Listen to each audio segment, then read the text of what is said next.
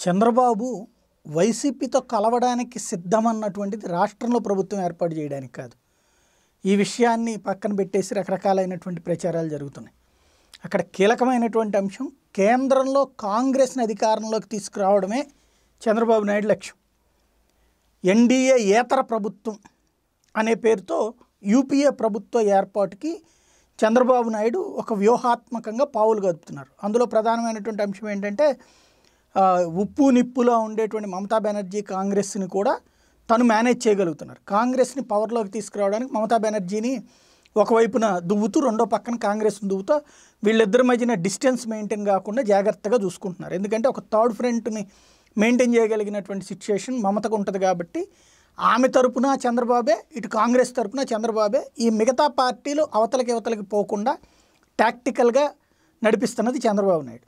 ఇప్పుడు ఆయనకి ఎట్లయినా సరే మోడీ వ్యతిరేక ప్రభుత్వం అనేటువంటిది సెంటర్లో రావాలి. ఆ సెంటర్లో రావడానికి ఇప్పుడు కనబడుతున్నది ఏంటంటే ఎన్డీఏ భాగస్వామి పక్షాలకి ఇప్పుడు దాకా ఉన్నటువంటి తాజా సర్వేలు కానీ వీటన్నిటి ద్వారా తేలుతున్నది ఏంటంటే యూపీఏకి ఇండివిజువల్గా అయితే రెండు వందల సీట్లు వచ్చేటువంటి సిచ్యువేషన్ కూడా లేదు. నూట యాభై లోపు వచ్చేటువంటి పరిస్థితి ఉంది అట్లాగే థర్డ్ ఫ్రంట్ అని చెప్తున్నటువంటి ఈ పక్షాలన్నిటికీ కూడా నూట యాభై వచ్చి థర్డ్ ఫ్రంట్ కూడా కాదు ఎవరి దాళ్ళదే బిజు పట్నాయక్ వేరు వైఎస్ఆర్ కాంగ్రెస్ పార్టీ వేరు టీఆర్ఎస్ వేరు మళ్ళీ వీళ్ళందరూ అందులో కలవట్లేదు. అంటే ప్రాంతీయ పార్టీలకు అదనంగా వస్తున్నటువంటి సీట్లు ఒక నూట యాభై ఉన్నాయి. ఇందులో ప్రధానమైనటువంటి అంశం ఏంటంటే వైఎస్ఆర్ కాంగ్రెస్ పార్టీకి రేపు పొద్దున్న సీట్లు వస్తాయి. ఓ పదో పదిహేనో వచ్చినాయి అనుకుంటే. ఆ సీట్ల మద్దతు ఇక్కడ అవసరం అవుతుంది. ఏది థర్డ్ ఫ్రంట్లో ఉన్నటువంటి పార్టీలుగా ఏదో ఈ యూపీఏలు లేనటువంటి పార్టీల మద్దతు కూడా రేపు కాంగ్రెస్కి అవసరమే. తెలుగుదేశం ఉన్న చోట వైసీపీ ఉండదు. ఇప్పుడు డిఎంకే సపోర్ట్ ఇచ్చిన చోట ఏఐడిఎంకే సపోర్ట్ చేయదు. అట్లాగే తెలుగుదేశం పార్టీ సపోర్ట్ చేసిన చోట వైఎస్ఆర్ కాంగ్రెస్ పార్టీ సపోర్ట్ చేయదు. అలాగే ఇతర రాష్ట్రాల్లో చాలా చోట్ల అదే విధమైనటువంటి పరిస్థితి ఉంటుంది. కర్ణాటకలో జేడీఎస్ సపోర్ట్ చేసిన చోట వచ్చేటప్పటికి మిగతా పక్షాలు సపోర్ట్ చేయడానికి కుదరదు. అక్కడ భారతీయ జనతా పార్టీ ఉండదు కాంగ్రెస్ ఉండదు జేడీఎస్ ఉండదు. జేడీఎస్ కాంగ్రెస్ ఆల్రెడీ కలిసిపోయినటువంటి సందర్భంలో భారతీయ జనతా పార్టీ అయితే సపోర్ట్ చేయదు కదా అక్కడ ఆ గవర్నమెంట్కి అక్కడ లోకల్గా మూడు పార్టీలే ఉన్నటువంటి పరిస్థితుల్లో. ఇతర ప్రాంతీయ పార్టీలు చాలా చోట్ల అదే. ఇప్పుడు నవీన్ పట్నాయక్ యూపీఏకి సపోర్ట్ చేస్తారంటే ఆయనేమి ఆ రూట్లో ఉన్నట్టు కనిపించట్లేదు. ఎందుకు? ఆయనకు ప్రధాన ప్రత్యర్థి కాంగ్రెస్ పార్టీనే.